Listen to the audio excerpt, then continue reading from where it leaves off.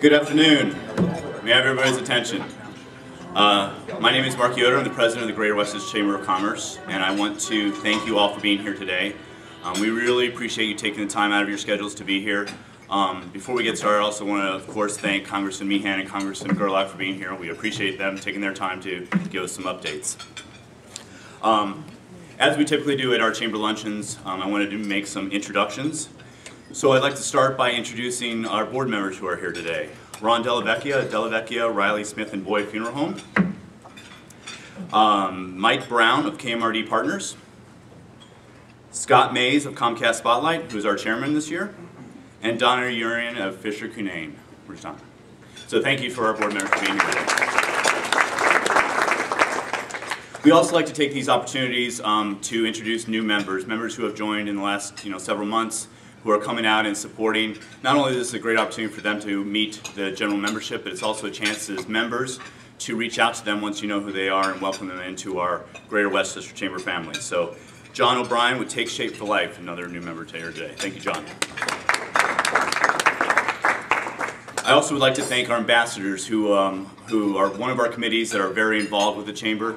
Um, this group reaches out to our existing members, reaches out to new members, welcomes them in, um, the Chamber and the Ambassador um, Department has, um, Ambassador Committee has introduced a mentor program. So the first 18 months of a new member's membership, they will be approached um, several times to really help them get uh, um, acclimated to the Chamber and the benefits of the Chamber. So I want to, thank it's a lot of hard work for our ambassadors. So I want to thank Brian Stevenson of Wells Fargo, who's our chairman of that committee, and Tracy McNichol of U Financial. So thank you to both our ambassadors for being here today. Um, so in a second, I'm going to bring um, Ron Delavecchia, who is the um, vice chair of our Government Legislative Committee, who will be doing the introductions today up here. But I want to make a couple announcements first. Um, on your tables, there will be some index cards. If you have some questions for the congressman, please write those questions um, on the index cards and then raise your hand and one of our staff members will come by to pick up those questions. Um, we are going to try to get as many questions as we can. Um, so make sure that you, you get that to us so that we can um, ask those questions. Of course, you know, we probably won't be able to get to all questions, but we hope to uh, at least uh, maximize our time with that. So we'll have presentations from, first from uh, um, Congressman Meehan, and then from Congressman, or I'm sorry, Congressman Gerlach, and then Congressman Meehan, and then I will be back up here to um, initiate the Q&A session. So with that, let me introduce Ron Dellavecchia. Thanks, Mark.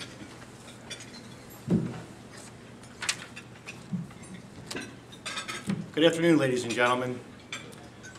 At this time, I'd like to introduce uh, Congressman Jim Gerlach. He is now serving in his fifth term in the U.S. House of Representatives. He serves the 6th Congressional District, covering parts of Berks, Chester, Lebanon, and Montgomery counties. Congressman Gerlach serves on the, as a member of the powerful House Ways and Means Committee, and also on the Health Subcommittee and the Select Revenue Subcommittee. The Congressman's distinguished career in public service representing the citizens of southeastern Pennsylvania began in 1990. His first two terms in the Pennsylvania House of Representatives, followed by two terms in the state Senate. His tireless effort over the past 12 years to help promote an effective government has saved Pennsylvania taxpayers hundreds of millions of dollars. Congressman Gerlach was a prime sponsor of the landmark welfare reform legislation that reduced the state's welfare rolls by an impressive 150,000 cases. One of his biggest legislative accomplishments was creating a much-needed National Veteran Cemetery in southeastern Pennsylvania. As a funeral director, thank you. And in 2009, Washington Crossing opened in Bucks County. Congressman Gerlach currently lives in Chester Springs with his wife Karen and their six children. Please give a warm welcome to Congressman Jim Gerlach.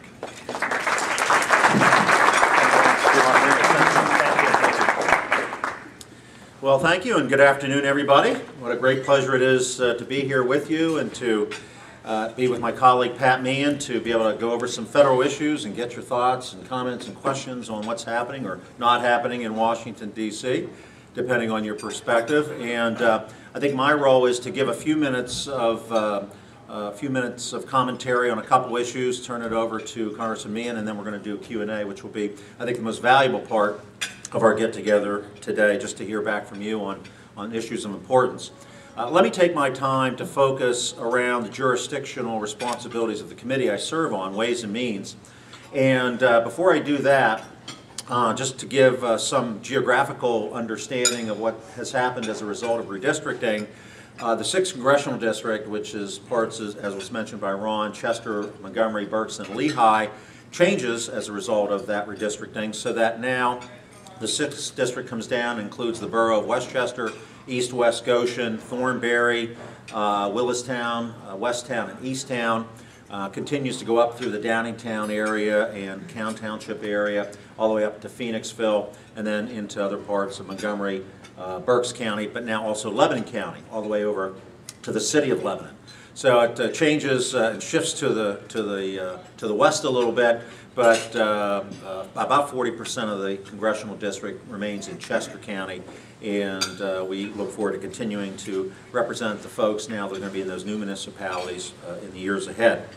Uh, on the Ways and Means front, there's a lot of issues that have been discussed and brewing, and as we head into what's called the lame duck period, that period between the election and the end of the year, uh, a lot of issues are facing us as members of Congress, including the fiscal cliff, whether all the 2001-2003 tax rates will snap back up to their higher levels, uh, higher levels by January 1st, or whether or not we'll come to some agreement to extend out the current tax code as is. Uh, the issue of what's called sequestration, uh, cutting about $1.2 trillion out of both the defense side and non-defense side of the budget. Uh, a doc fix issue, whether those that care for Medicare patients will receive a 27% uh, reduction in reimbursements uh, for the patients they care for, uh, whether or not there'll be an extension of the 2% payroll tax cut that occurred last year and is still in place through the end of the year, whether that'll be extended or not. So you have all these issues swirling around at the end of the year in that lame duck period with very little uh, clarity as of yet as to what's going to happen during that period. But as for and Means issues, we have been focused on a couple things. One, there are about 60 provisions in the tax code that expired at the end of last year or will expire at the end of this, end of this year. And so the question is whether those uh, issues will be included in what's called a tax extenders bill and be passed by Congress and extend those provisions. Some of them are business related. Some of them include, such as the conservation easement deduction uh, that was in place for, uh, for landowners to put some of their land into conservation easements and get a, a deduction from that. So one of the big issues we'll take up will be whether to have a tax extenders bill and uh, what will be included in that. Uh, we obviously uh, are going to do what we can to try to prevent this tax hike from occurring at the start of the year. In fact, in the House of Representatives, we passed before the August recess H.R. 8 to basically keep, keep the tax code in place for another year through 2013 while we in Congress work on major comprehensive tax code reform. Uh, we passed that in the, uh, in the House, it's over in the Senate. So while there is uh, some media reporting that Congress has done nothing to prevent that uh, from occurring, the House in fact has acted and we've passed the bill and it's over in the Senate sitting there. So we're hoping uh, Senate Leader uh, Harry Reid takes that bill up as soon as possible so that we can try to get some agreement on that. As we look into the next Congress, uh, tax code reform, however, is going to be a really big part of what Ways and Means does. We have a, a hugely complicated tax code, uh, a tax code that has grown from 1.4 million words in 2000 to 3.4 million words uh, in 2012 and continues to grow and get complicated. We want to try to simplify that code, make it more equitable, and allow it to foster more uh, investment in our economy. Uh, there are a number of our competitor countries around the world that have what's called a territorial tax code. We in the United States have a worldwide tax code, meaning we tax you not only what you earn here in the United States, but we'll tax you on what you earn abroad when you bring those earnings back. And for the fact that we have a 35% tax rate, now the highest in the world, uh, it's not surprising then that there's hundreds and hundreds of billions of dollars in foreign earnings by American countries that are being kept offshore because they don't want to bring it back to the United States and be taxed at 35%. So we would like to move our tax code from a worldwide tax code system to a territorial system. And in essence, encourage and incentivize American companies earning foreign revenues to bring them back here to the United States and invest them here in the United States, which we think would be a great stimulus to the private sector economy. If we're also going to stimulate and foster growth, uh, we want to lower that 35% to a maximum of 25% for uh, corporate taxation. And recognizing that most of the businesses in the United States are not actually C corps, they are pass-through entities. Many of you are pass-through entities. Uh, subchapter S is LLCs, limited partnerships, sole proprietors. It would be unfair and inequitable to have C corps taxed at a maximum of 25%, and you who pay uh, an individual tax rate for your business income, uh, we want to lower the maximum individual rate to 25% as well and create that uh, equity. But to have a tax revenue bill, uh, bill we then would have to expand uh, the base of, uh, of the code uh, in order to create tax uh, neutrality. And so a lot of our discussion coming up through this end of this year and into next year will be what do you keep in the tax code and what do you take out of the tax code if you're otherwise going to lower the maximum rates. And that's going to be a heck of a discussion, and I'm not quite sure how it's all going to turn out. But there is great interest in simplifying the code and taking out a lot of loopholes, deductions, exemptions, if you're going to lower the maximum rates. And we think by doing that, we're going to, we're going to foster more economic growth here in this country. So that will continue to play out as we get into the next Congress, and we're going to want to have your input, your feedback as proposals start to get, uh, get written and put on, uh, put on the floor, and love to have your feedback on what you think the tax code changes ought to be. So with that, that's a quick uh, thumbnail on a couple tax issues. Uh, I want to make sure we leave plenty of time for Q and want to obviously uh, leave plenty of time for Congressman Meehan to also uh, make his comments, and then we can both, I guess, together take uh, take your Q and A. So let's do that. All right. Thanks very much. Appreciate it.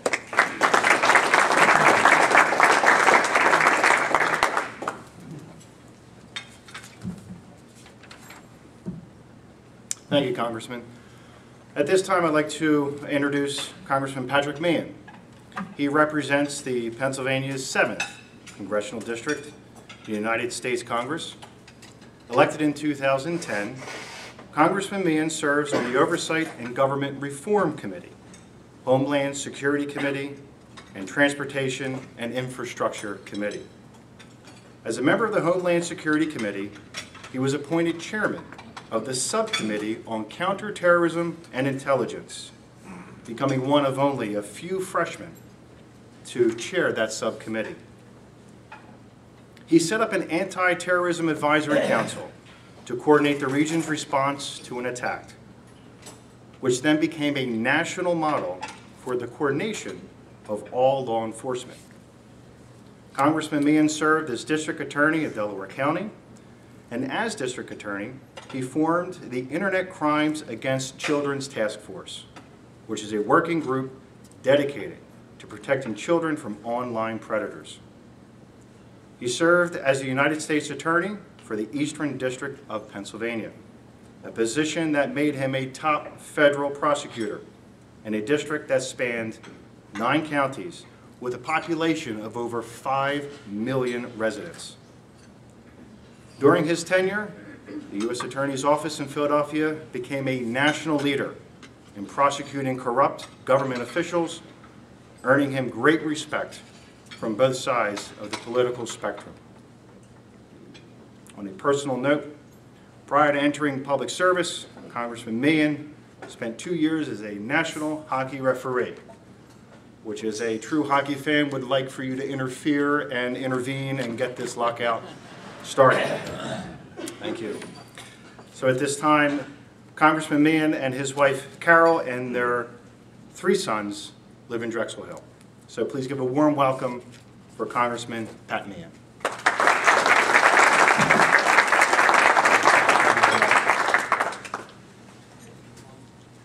Well, good afternoon. It's a, it's a delight to be here with my colleague uh, Jim and to, to be before you today. I, I noticed as the introductions were, were being given in recognition of the really very significant membership Jim has on the Ways and Means Committee. I kept waiting for the announcement to talk about being a member of that powerful Homeland Security Committee, but the. It is uh, powerful. Powerful.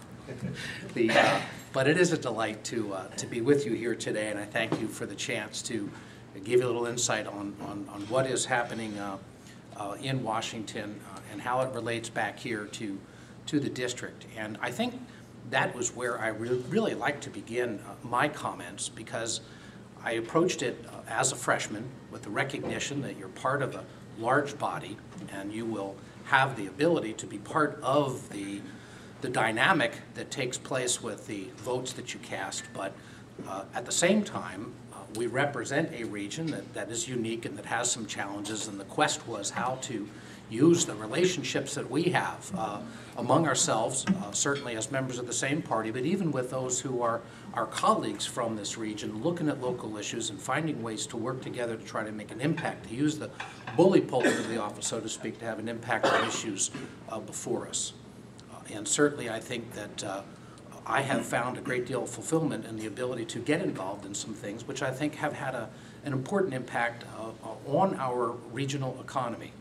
Uh, One of the things that is paramount has been the tremendous challenge that we faced as a region. Uh, We had been working on the concern about what might happen to the uh, energy sector if we, if we had challenges that were largely based at the time we were looking at from the, the- the increased regulation and other things, what might happen with our refineries. And it was a real sort of kick in the gut for our region to be looking at the potential loss of three refineries. Uh, And are literally uh, thousands, some estimate, uh, in, in excess of tens of thousands of direct and indirect jobs that would have percolated throughout our entire region. The history has been written or is being written as people go through, but I, I think it was a, a, a very important uh, and significant regional accomplishment, and one in which it was generated by the collaboration of, of of people from both parties at all levels of government, creating the kind of environment that, that invited and worked with those who came in with new ideas and ways to generate uh, different uses of those tremendous assets. It has actually put us back in play as a, I think, a significant energy player uh, moving forward, and there's great potential down there for a- an expanding economy to grow off not only the, the uses that have been uh, put into place, but the relationship back to the tremendous resource we have uh, in Marcellus Shale. So I think that was a, a, a great save for our region. Uh, Participated very directly in the negotiations to, uh, after 20 years of frustration, uh, the ability to finally get through the Congress the uh, support for the deepening of the Delaware River. Now, this, of course, had a lot of challenges prior to this point, but ultimately, uh, Jim and I were able to work and, and support uh, and actually advocate for uh, the inclusion of, of Pennsylvania and Philadelphia particularly in, the, uh, in this current budget that dedicates the money. And if we did not deepen that river, there was a great concern uh, that we would atrophy as the Panama Canal opens and you begin to see trade expand dramatically at the ports throughout the United States. We would not be able to compete for those goods. And once again, the impact, it's not just the port itself. It's central to our infrastructure and the implications could have been significant. I got a chance to work very, very directly with uh, some of the folks at uh, the, the, at the prior uh, Sunoco, uh, but at the time there was the the ability to to do something, uh, getting uh, vessels reflagged under the Jones Act that enabled them to be positioned so that now they can be put to work, taking advantage of the ability to move the natural gas uh, throughout our region, and, and that should be something of a job creator, not a huge job creator, but it was, you know, this was work that was done before the, the rebirth, but once again, an important new opportunity to take advantage of, of the economies that can be generated down there uh, in a new fashion.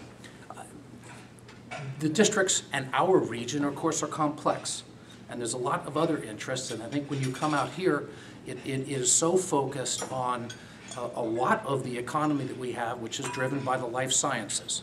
We are an area that is rich in the kind of, of uh, investment of, of capital and, and uh, headquarters and things with the uh, bio, bio companies and pharma and, and technology that's related to that. Uh, a real healthcare center with the great teaching hospitals we have, uh, teaching institutions, uh, research, and a lot of the things that are tied together. So working closely, trying to look at that industry and finding ways to work effectively with that industry is something that I know I have uh, spent a great deal of time and, and have collaborated with Jim on a, on a number of things. Uh, I was able to, on, on, on one of my committees, we were able to actually spearhead something I'd worked with Senator Leahy and one of my Democrat colleagues on, an issue that doesn't rise to the front of everybody's attention level, but we're able to enhance the penalties on counterfeit drugs. People do not appreciate the impact that has on the manufacturers, but more significant, the, uh, the, the number of people who are harmed by virtue of going onto the internet because of the growing amount of, uh, you know, cost of drugs, so they, they look in alternative places. It has a, a real impact on the industry, but it also has a genuine health impact.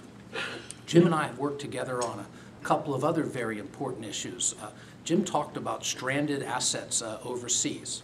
Now, we have proposed working with the idea of uh, enabling the, uh, a life sciences tax credit, so to speak, to come back to repatriate some of those foreign profits, to allow them to be brought back into here uh, at a a significantly reduced tax, uh, allowing the first $150,000 uh, to be utilized in investment uh, in, uh, in, in research and development here in the region to come in tax-free and, and entice us to allow people to be put to work here doing the research and development, not shipping those jobs overseas.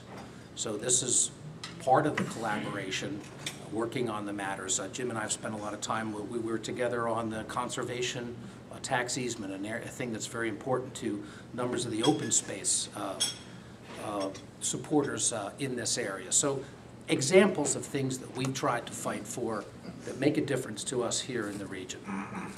We're part of the big picture, and of course, we're all as a nation looking at the big challenges that we face. In an economy in which unemployment continues to uh, exceed 8% for uh, uh, more than 46 months.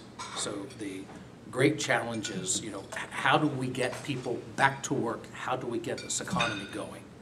And when I talk to small business people and I talk to people who are, who, who, who are in the business of, of investment and risk-taking, I think there's a great concern about uncertainty. The word that I hear continuously is uncertainty.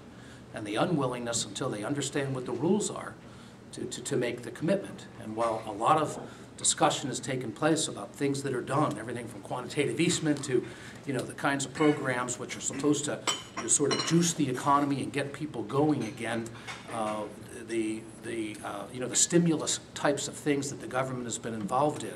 The fact of the matter is we're sitting on trillions of dollars that are tucked away in corporate balance sheets and other kinds of places, which are ripe to make the kind of investment if in fact they feel confident and the ability to, to take risk and to make that investment. So the challenge for us is to find a way to work on the kind of dynamic that will, that will invite that.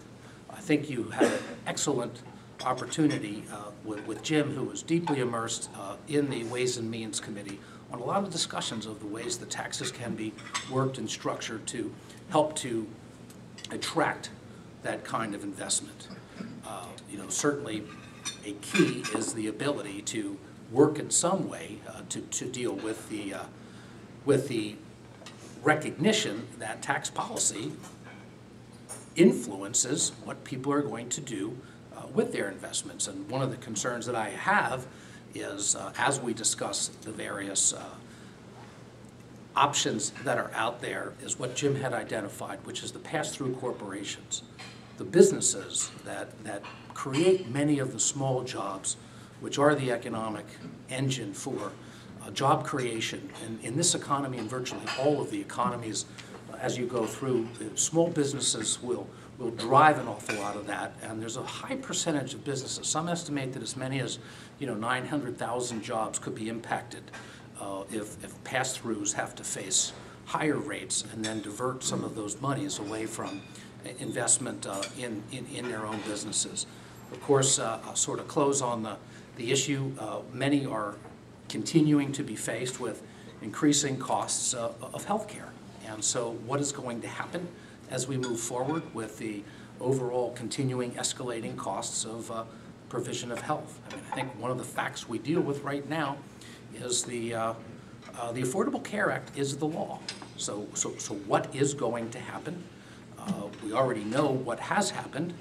One has been that it, it has not contained the costs in the way that it was advertised to do so. The average person uh, in, a- in a small business has seen uh, their policies actually increase in cost. I think there's been some 300, close to 347 billion dollars worth of, of uh, greater costs tha- than was estimated. So the real question is, are we going to find a way uh, with this system to, to, to be able to control costs? And simultaneously, you know, what is actually going to happen? I would suggest to you, a lot of it has to do with what happens with this election, but that's where people, uh, you know, the voters themselves will influence some of that outcome. And I say that because I suspect, uh, you know, the president is reelected, he is going to be reticent to uh, sign any bill that, that, you know, overturns uh, his signature. So there's going to be a lot of, uh, on the plate, I think, awaiting what, what happens uh, in this cycle, but it is, uh, notwithstanding, as Jim said, uh, when we return, whatever happens in that, in in that election cycle, we all will be facing the, the short-term challenges of the the fiscal cliff, which I think Jim laid out so well. So we've got uh, a lot of work ahead still. Uh, Ultimately, hopefully, what happens is the ability to create the kind of environment in which there is a little bit more predictability, there is a little bit more certainty with respect to the policies. We're still going to have difficult challenges as we look at European markets, Asian markets now uh, influencing the world picture. But the ability for us to be able to create some kind of opportunity for people to have the confidence to reinvest is what I think is going to be the key to getting America back to work. So I thank you uh, for your attention. I- We did not discuss, Jim or I, any of the issues uh, that that are not quite as close to home, but very real, which is uh, many of the things that are happening as a- in an increasingly challenging and uh, increasingly unsafe world. I do get to see that in my position as the uh, chairman of the Counterterrorism and Intelligence Committee for Homeland. But uh, you're all aware of the huge issues that seem to be percolating uh, in, uh, you know, primarily uh, in the Middle East, drawing from uh, the concern about a nuclear Iran on top of it. So uh, we simultaneously have real uh, challenges uh, that we face as a, as a member, and, and I would suggest to you as uh, the most significant nation among nations in the- in the world. So I look forward to uh, the opportunity to sit here with my colleague and uh, entertain your questions, uh, or Jim and I can give long supplemental speeches if you would like. But uh, I thank you for the chance to be with you and look forward to, uh, to our dialogue. Jim?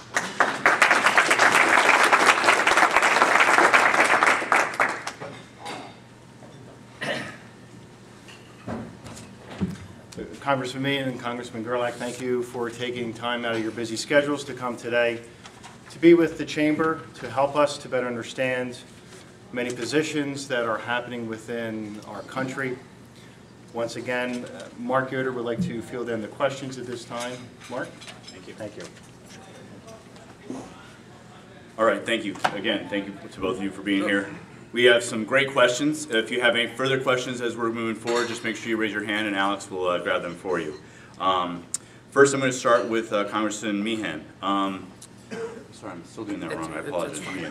Um, When, when, when I was a referee, believe me, they just didn't call me a name, they called me names. How do you foresee the national healthcare plan impacting patient care? Well, what concerns me with patient care right now is the ability for patients to make decisions with the consultation of their physicians and have that drive the practice. I was talking to a physician the other day who said to me that the problem is they've got two or three other people now in the room with them, looking over their shoulder as they discuss the health care of their patient, symbolically saying that there's all kinds of other people now who are involved in the decision-making with the, uh, with the provision of care.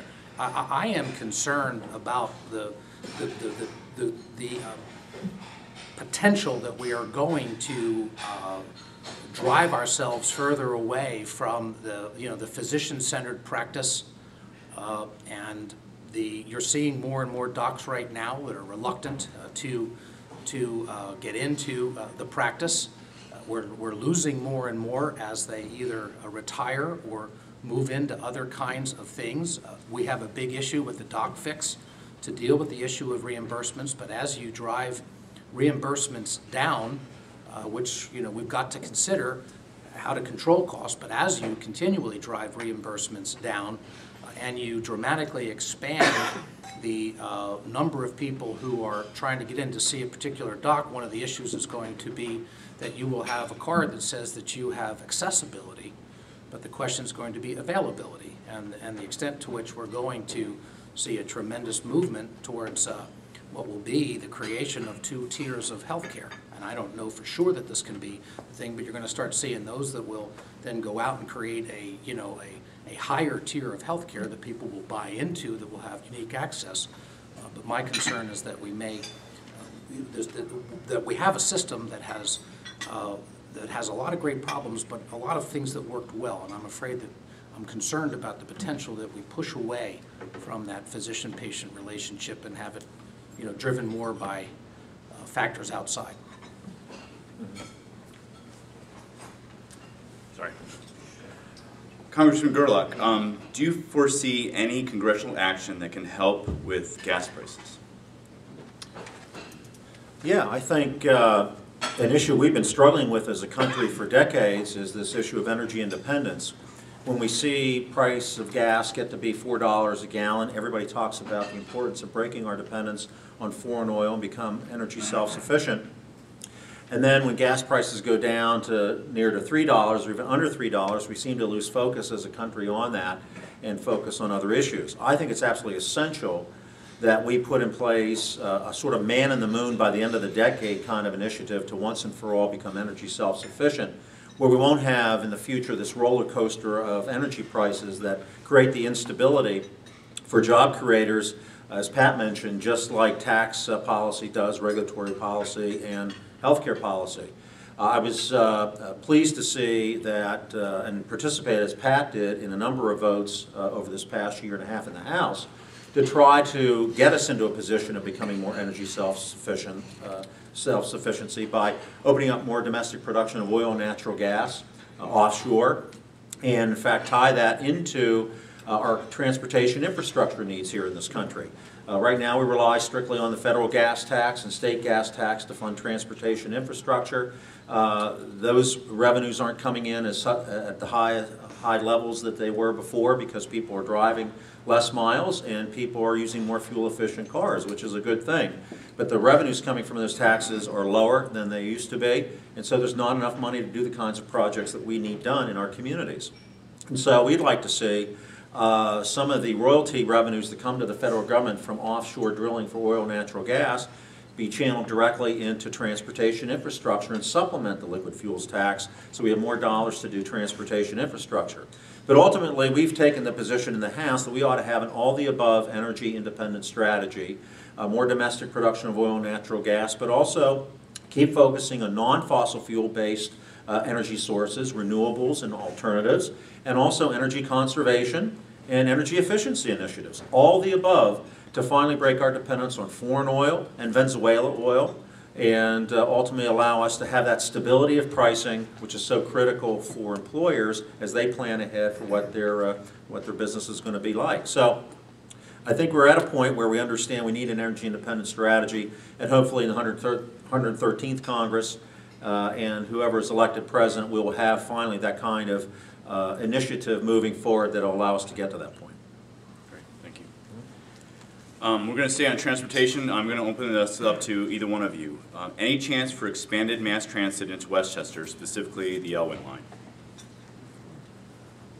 Uh, Well, well, I think the Elwyn line, let me first tou- touch that issue. I think the Elwyn line is already doing an expansion uh, a little bit further out. The right-of-ways do exist into West Chester. My my suspicion is that it would be uh, competing against a line that already runs out of West Chester. So whether or not, uh, you know, the local transportation authority would, would make a judgment that it was uh, economically feasible to do so, I don't know. I think the existing infrastructure is such that they can get it out to the next station and they've made a determination to build a station uh, one more step out beyond where it is uh, on, on- this side of West Chester to deal with the growing population uh, that is out in the, uh, in the, in the suburban areas uh, there.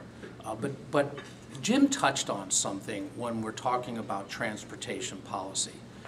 And I think he hit on an important point that was part of what we, we're, we're giving a lot of consideration to. And I had the, uh, I, I was pleased with the opportunity to be given a chance to serve on the Transportation Committee, uh, where we actually did pass an aviation bill and did pass a transportation bill.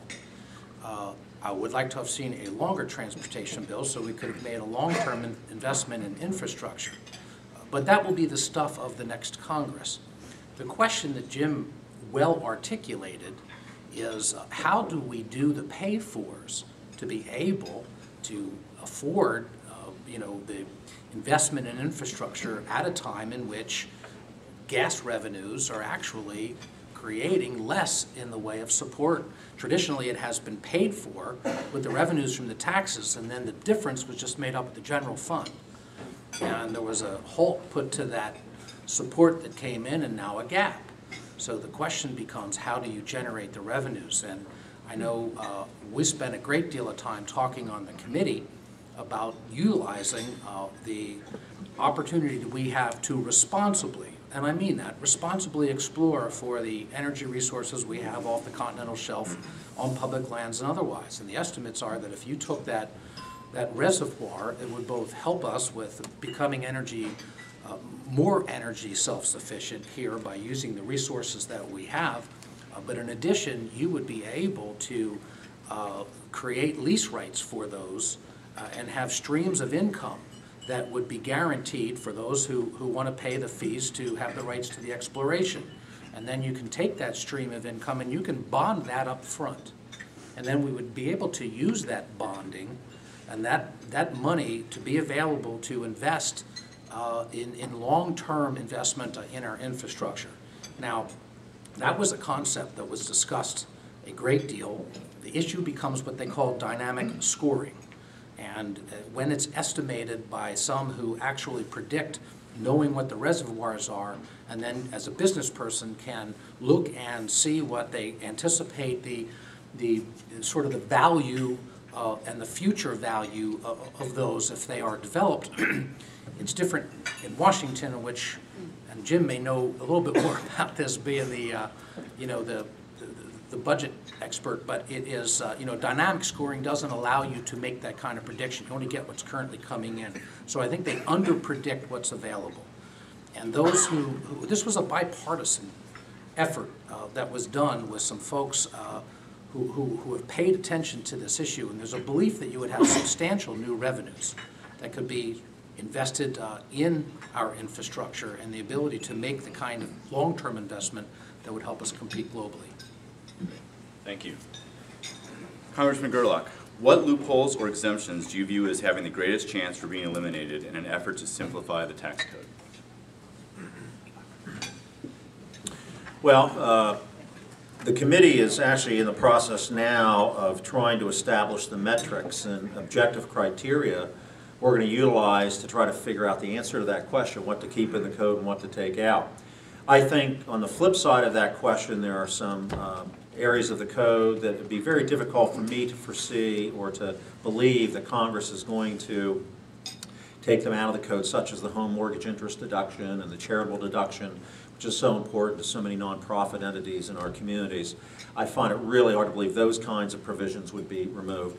But uh, I would think more on the business-related side, there may be uh, some provisions that could be looked at, and there has been formed in Washington what's called the Rate Coalition. It's a group of companies that basically take the position that if you lower our maximum corporate rate to 25 percent, then we are willing to give up all the other business-related deductions and credits that we get, such as the R and D tax credit, the Section 179 business expensing, the bonus depreciation, um, things of that nature, because by lowering that rate uh, to that level, um, and by taking out uh, those provisions from the code, you've really simplified the code from a compliance standpoint, and with that uh, new effective rate of 25%, uh, we think that's a fair uh, place to end up.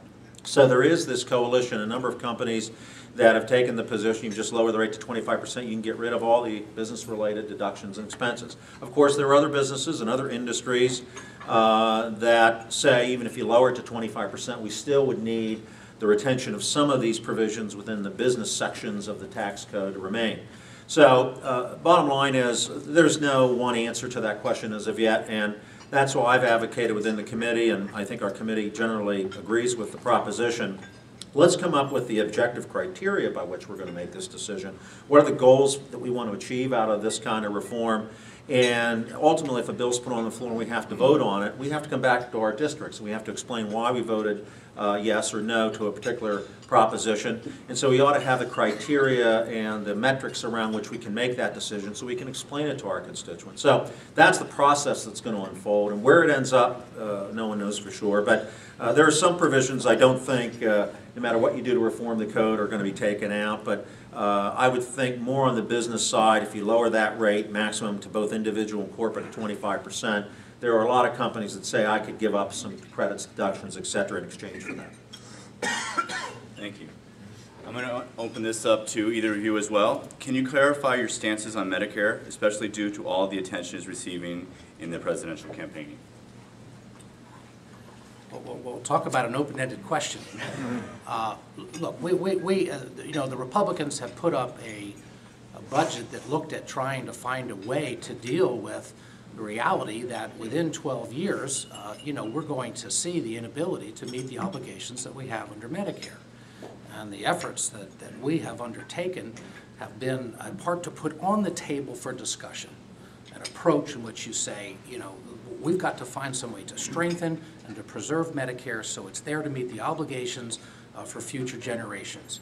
And so what you have seen is, is, is the Ryan proposal has looked at the idea of creating a, a concept called premium support, in which there would be the ability for an individual to have the, the, uh, you know, a, a, a level of support uh, from the government that would uh, rise uh, to some extent with your economic circumstances, so that it would be higher as your economic circumstances were, uh, you know, were, were, were, were worse, and have the ability to create the kinds of uh, networks that will compete for that business, and then to use that competition as a way to hold down the costs, and then have the ability of the other kinds of things we'd like to see done, such as allowing, I just sat at the table with a couple of small businesses who said, you know, I'm in a three or four person business, we can't compete for insurance. We have no capacity to go out and get a quote because, you know, we get the straight quote because there's just three of us and there's, there's, you know, there's, there's, there's no give there. And so what do we do? And so, you know, one of the other things we're, we're looking at as well is the ability to create the kinds of pools that will uh, attract uh, small businesses uh, into one large network, uh, much like federal employees, so that you have the ability to, to, to compete for, for uh, better rates. That would certainly also occur with uh, the ability to do things across state lines. So I think that, the, you know, the- they've laid it out. I mean, uh, Paul Ryan put up a, a plan. As I said, I think it's, it's, it's a place for us to, to begin to have a serious adult conversation about, about a, a program that if nothing is done, uh, it won't be able to meet its obligations. Yeah, I agree with Pat, and uh, what you, what you understand quickly, and you dig into this issue, the trustees, the Medicare trustees themselves have said this program is going bankrupt in 10 years. So a number of things would happen if that were to occur. Either it does go bankrupt and you don't have the program any longer, or you have to very severely limit the benefits under the current program, or you have to take huge chunks of money out of other parts of the federal budget to supplement what's coming in to that program today. So that's why, if we're going to have this program available to future generations, we do have to undertake reforms to the program. It doesn't mean somebody that's in the program today will be affected. If you've worked for 40 years or so, you've expected this program to be in place, it ought to be there, and will be there. Or if you're within 10 years of retirement, age 55 or more, it should be there for you because you've planned for that as you've gone through your working career. But if we're going to keep this program available to younger people, there are going to have to be reforms, and Pat mentioned the premium support uh, model. That's the model that's already working in the Part D part of the program that was established about, what, seven or eight years ago, the pharmaceutical assistance. A senior comes into the plan, looks at a number of different uh, uh, options, decide which one works best for him or her, makes the decision to participate in that, in that plan. The federal government then pays the plan provider for that senior's participation in that plan. And because of the competition among the plans, and the plan providers wanting to have as many seniors sign up for that plan, that has actually lowered the costs that were projected to be uh, a part of that plan, the program cost over 10 years. And so that competition is working. And we think that kind of model needs to be expanded into the rest of the program so that you have a Medicare program available to seniors in future years, but instead of, as is today, growing at 7.5% per year and projected to grow ad infinitum at that level as you have almost 10,000 baby boomers coming into the retirement uh, system now every day, unless we get a hold of that growing cost curve and lower it, not decrease the cost of funds going into the program, but rather than growing at 7.5%, have it grow at a more modest 4% per year. Uh, that, uh, if we don't do that, this program is not going to be around for future generations. And so that's the kind of thing we're talking about to get a handle on this before really severe ha decisions have to be made in about 10 years as to what's going to happen with the program. And we would love to see some of our colleagues on the other side of the aisle offer their ideas of what they would do to protect the program. We haven't seen any of those. So uh, we're getting shot at by a few folks for what's been proposed in the House. But it seems to me this is a very serious issue. If you want to be a serious legislator, you want to be a serious uh, body within Congress, you've got to come up with some ideas or let the other folks uh, move forward. But uh, complaining about uh, what one plan is and not coming up with one of your own to me is uh, the height of irresponsibility, and that seems to be what we have right now in Washington. Great, thank you. We've got about five minutes left, so um, if everybody's keeping watch, uh, I'm going to try to end this in about five minutes. So with that, uh, Congressman, how can unemployment compensation be reformed to return people to work? Well, the best way is not to necessarily reform unemployment compensation. It's to get people back to work, to give them a job so they don't need unemployment compensation. I mean, I think that's really the key. And what I would be working on would be to find a way, as we said at the outset, which is to uh, get our economy back into a point in which people have the confidence to invest the money that they, uh, that they have already sitting on the sidelines. And in addition, I think we also need to do a little bit more uh, I've been meeting with a variety of people, both small business people and, uh, uh, and uh, uh, builders and others kinds, you know, we're talking right now about green shoots and the ability to come out. There's still an awful lot of oversight here on the local level in which uh, we've replaced the ability for decisions to be made, responsible decisions to be made at a local level. You know, bankers have been community bankers for years, and they've prospered because they've understood their community.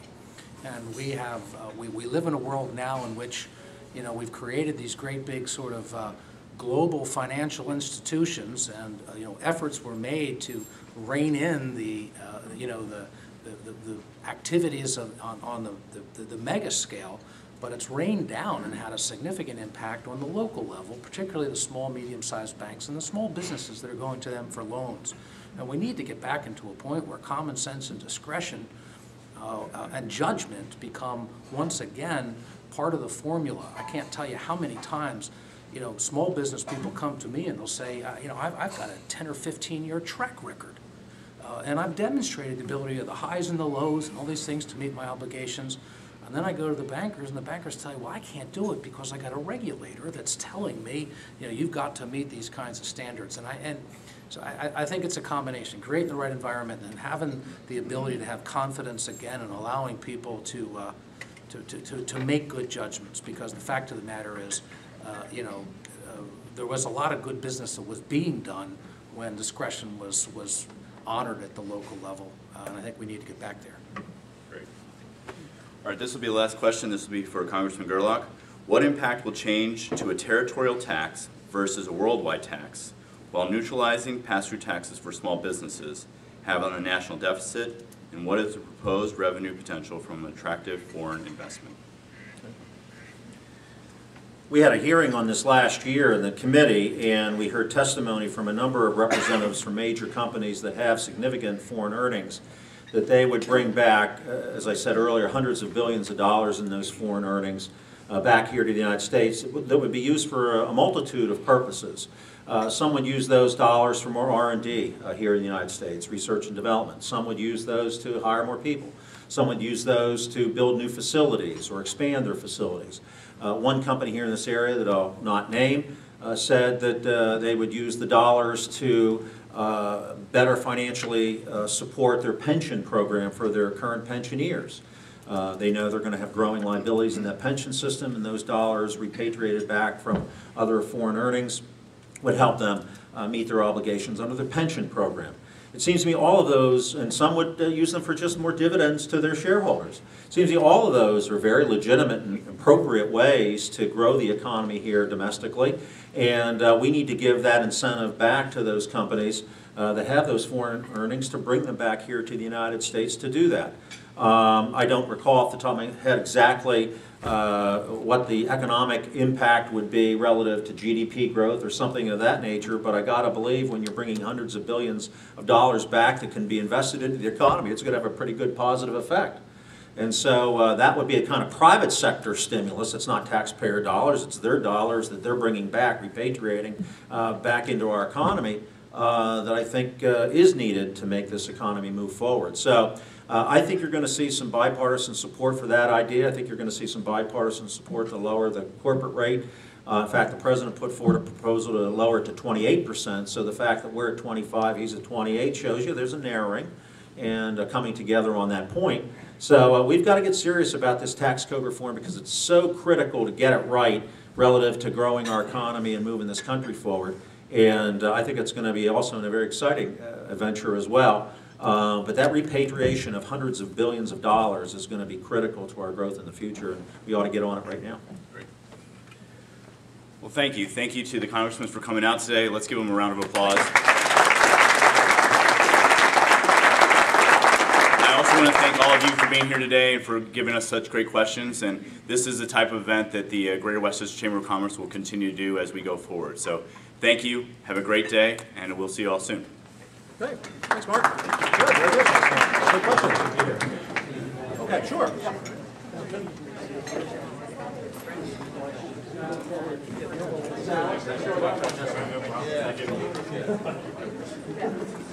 Thanks for coming over. Appreciate it. Yeah, Good. you know, it's good to get out, you know. Thank you. Uh.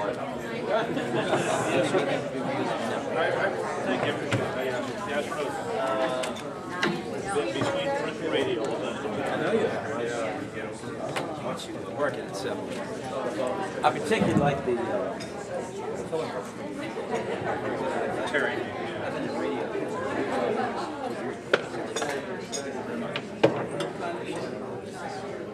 No, I, well, Enjoy filling in for Terry and Marty sometimes. It's, uh, it's a great reporting. Yeah. The studio.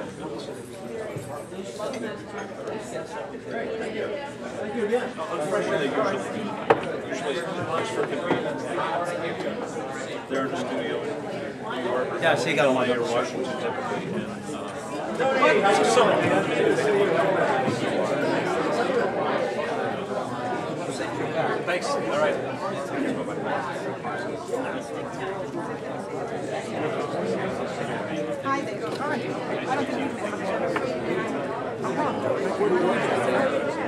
Oh, did you? with many, many different events together. Oh, did you? Wonderful. Okay. Oh, yes. They always had a, uh, a good, um, good. Yes, they did. Very, very friendly. Yes. I do have an older brother, Joe. Yeah, I know. Okay. Yes. Well, it's not nice meeting you. Thank you for coming over and telling me.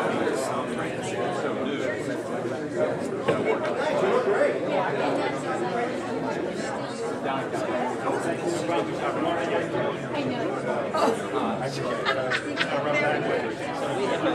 oh.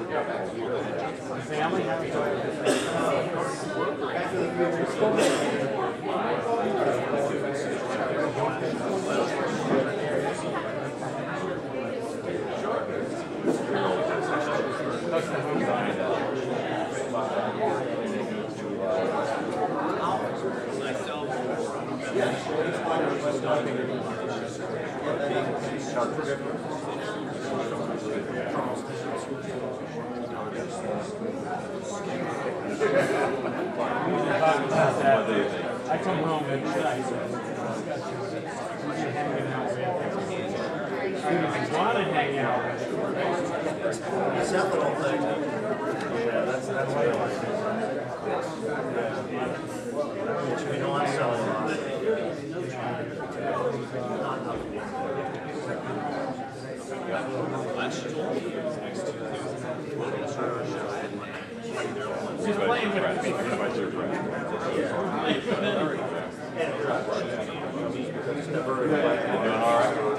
He's doing fine.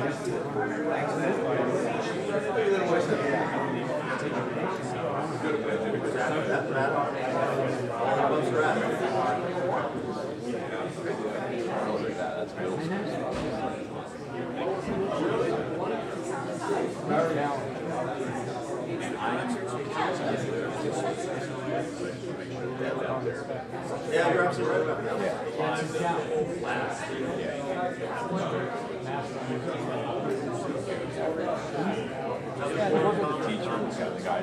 Good. And who are you with? That's fine, great.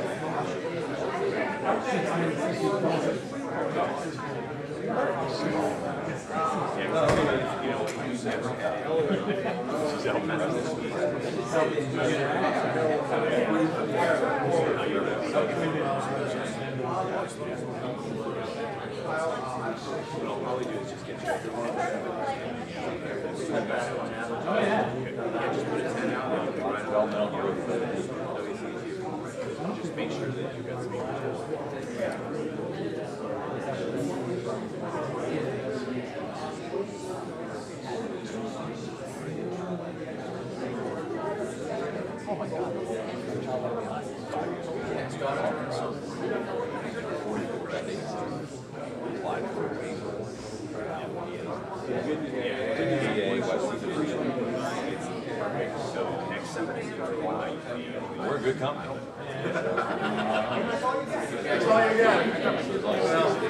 Hang in there.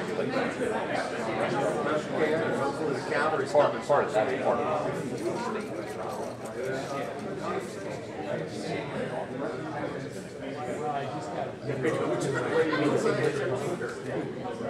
Great to meet you.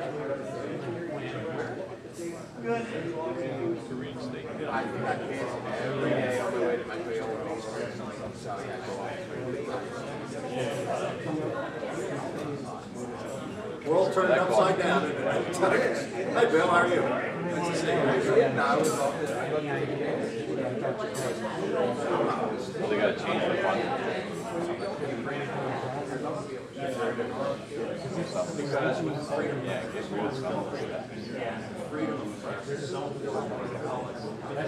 build a house in ninety days, but it takes. You.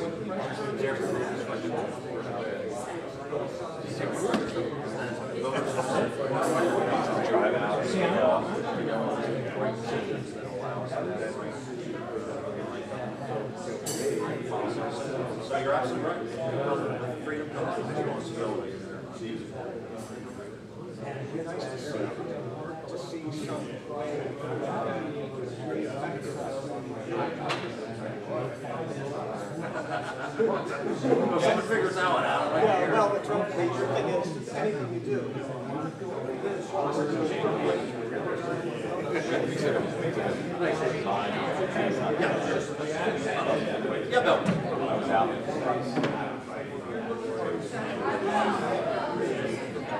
Yeah, I heard, I heard you were thinking about something. Uh, are you doing it for all professional races? or you doing it-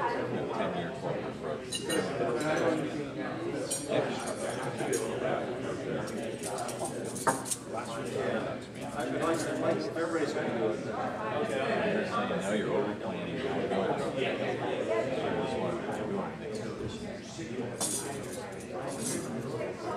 Yeah.